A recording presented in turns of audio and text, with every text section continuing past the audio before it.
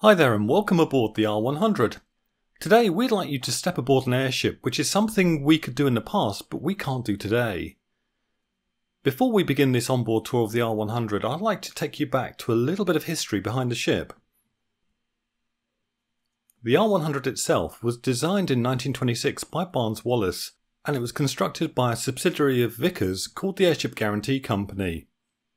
Work started in 1926 in the giant double airship shed in Howden in Yorkshire, and over the next three years, the 700 foot framework of the ship grew and filled one of the two gigantic shed bays.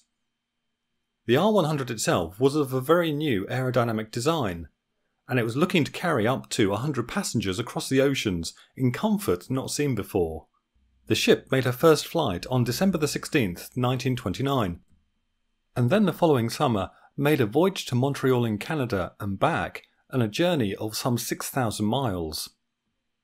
In the past, we've only been able to guess what it was like on board by studying the plans and imagining from very grainy photographs what it would be like to travel across the ocean, but now, thanks to the artistic talent of Marshall Young, we can actually take a tour of inside the R100. The passenger accommodation was situated in the main hull which consisted of three decks sitting below the giant gas bags. These were to give the ship her lift. Now let's start the tour and begin with the upper deck. There were cabins arranged around the top with a small lounge gallery large enough for passengers to sit and relax. There was a main staircase and this was designed to connect all of the decks and it followed on the form of like the grand staircases on ocean liners. In between the cabins was a small corridor which gave access to an upper promenade deck on each side of the ship. Now let's take a closer look at the inside and we'll start with the staircase itself. The columns were clad with a thin veneer of dark wood and the stairs were partially covered in a dark carpet and these were held in place with stair rods which was very much the style of that period. There was enough space for the passengers to walk around in the upper lounge and then look down on the lower decks. There were electric lamps which provided additional lights. Some of the chairs were made of wicker cane. These were for comfort but also for lightness. Now let's go downstairs to the main deck.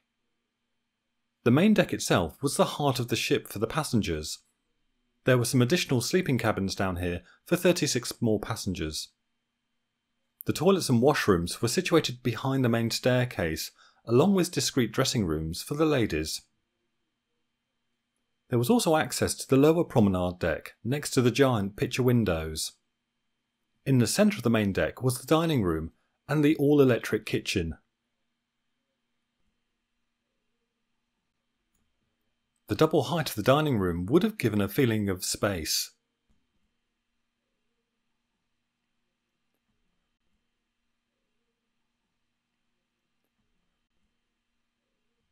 While we're on the main deck, let's have a quick closer look into one of the cabins.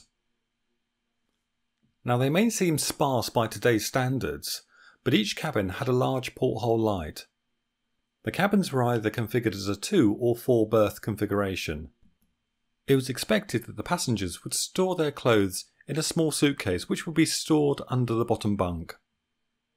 As the ship was lighter than air, it was essential that weight be saved where it could, so there were no doors, but a heavy curtain would be used for privacy.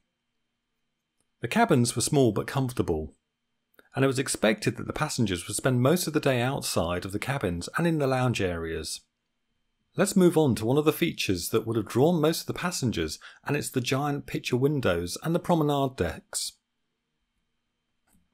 When looking at the ship from the outside, the promenade deck windows were actually the main set of windows to provide light to the passenger accommodation, but if you look closely, there was also a lower deck set of windows for the crew deck. The promenade would have been like the decks of a ship, and it would have afforded some amazing views at about a thousand feet.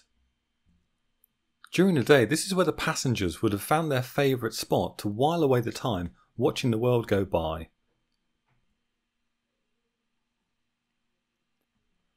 Now let's go downstairs even further into the crew space on the crew deck.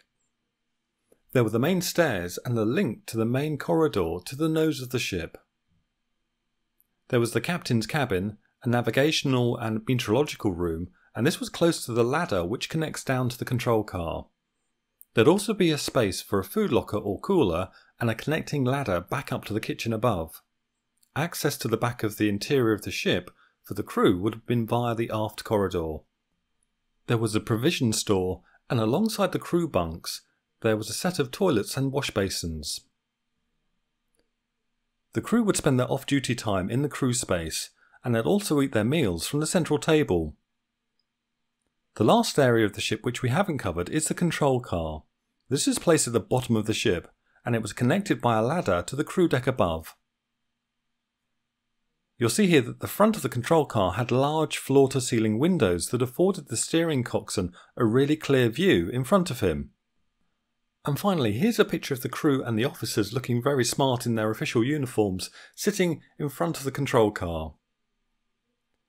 I hope you enjoyed this tour of the R100, and thanks for watching.